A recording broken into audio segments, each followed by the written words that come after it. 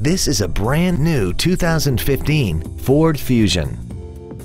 This four-door sedan has an automatic transmission and an inline four-cylinder engine.